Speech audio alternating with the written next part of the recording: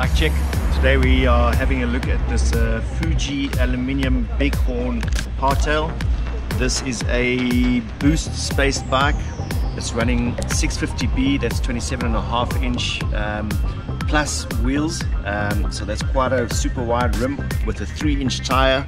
Um, I've ridden a sim similar bike before. This is a really, really, really fun trail bike. Um, at this price, if you want to get into trail riding, and uh, have a super fun bike. It's going to be super beefy. Uh, running a SRAM GX 1x11 group set on there. That's quite a nice gear ratio. It's going to get you up most hills rather easily.